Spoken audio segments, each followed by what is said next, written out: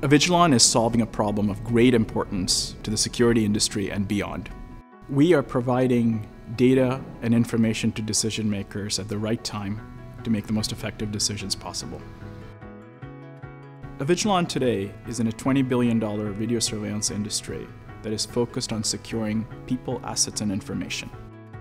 We build business models that benefit the customer, and that benefit translates to our growth. Our customers see the value instantly. That is our advantage.